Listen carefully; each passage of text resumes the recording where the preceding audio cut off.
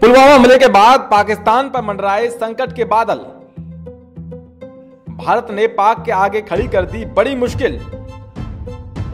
दरअसल पुलवामा हमले के बाद भारत ने पाकिस्तान की कमर तोड़नी शुरू कर दी है, क्योंकि इस हमले के तुरंत बाद भारत सरकार ने पाकिस्तान को बड़ा झटका देते हुए मोस्ट फेवर्ड नेशन का दर्जा वापस ले लिया, और उसके बाद वहाँ से आने वाली चीज़ों पर 200 फ़ीसदी कस्टम ड्यूटी बढ़ा दी, जिसके बाद से ही पाक तिलमिलाया डरा हुआ नज़र आ रहा है। मगर भारत ने एक ऐसा फैसला लेने जा रहा है जिसके बाद पूरे पाक में त्राई त्राई मच जाएगी और कटोरा लेकर सड़क पर आ जाएगा। दरअसल केंद्रीय सड़क परिवहन एवं राज्य मंत्री नितिन गडकरी ने बड़ा ऐलान करते हुए कहा है कि भारत के अधिकार वाली तीनों नदियों का पानी अब पाकिस्तान नहीं जाने दिया जाएगा। और इसके लिए तीन प्रोजेक्ट तैयार करके इस पानी को यमुना में लाया जाएगा।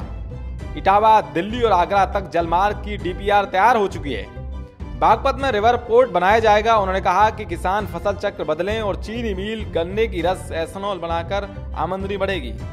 बता दें कि बलौनी के श्री कृष्ण इंटर कॉलेज में केंद्रीय मंत्री नितिन गडकरी उप मुख्यमंत्री केशव प्रसाद मौर्य और केंद्रीय मानव संसाधन विकास राज्य मंत्री डॉक्टर सतपाल सिंह ने मेरठ बाईपास से हरियाणा बॉर्डर तक डबल लेन हाईवे और बागपत में यमुना के वाटर ट्रीटमेंट प्लांट का शिलान्यास किया।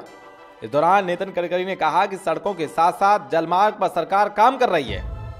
भारत के अधिकार वाली तीनों नदियों का पानी यमुना में लाया जाएगा। जिसके बाद हरियाणा और पश्चिम उत्तर प्रदेश के लोग दिल्ली से आगरा जलमार्ग से जा सकेंगे। और इसके बाद रिवर पोर्ट भी बागपत में यमुना के किनारे बनाए जाने की तैयारी है। पोर्ट से चीनी बांग्लादेश और म्यांमार तक भेजी जाएगी। इसमें खर्च कम होगा। उन्होंने कहा कि प्रयागराज से वाराणसी तक जलमार्ग तैयार है। जल्दी इसमें रिवर बोट चलेगी। एक बोट में चौदह लोग बैठ सकेंगे। इसकी स्पीड 80 किलोमीटर प्रति घंटा होगी।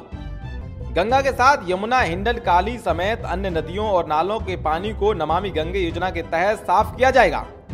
दरअसल केंद्रीय मंत्री नितिन गडकरी ने भारत के अधिकार वाली तीन नदियों का पानी, तीन प्रोजेक्ट तैयार कर यमुना में लाने की बात तो कह दी है, मगर इस घोषणा पर सवाल खड़े हो रहे हैं। वो इसलिए क्योंकि विश्व बैंक की अध्यक्षता में हुआ सिंधु जल समझौता इस राह में बड़ी बाधा है। विशेष पुलवामा हमले के बाद पाकिस्तान को जाने वाला पानी रोकने की मांग उठ रही हो, लेकिन अभी तक इसे रोका नहीं गया है। पहले हुए भारत पाक युद्ध के दौरान भी ये समझौता प्रभावी रहा था, मगर फिर भी इस मुद्दे पर भारत की ओर से कोई एक्शन नहीं लिया गया। अब देखना यह होगा कि भारत विश्व बैंक की मौजूदगी में हुए इस समझौते को किस तरह से दरकरार करके तीन नदियों के पानी को पाक से रोककर भारत में लाता है। विजय न्यूज़।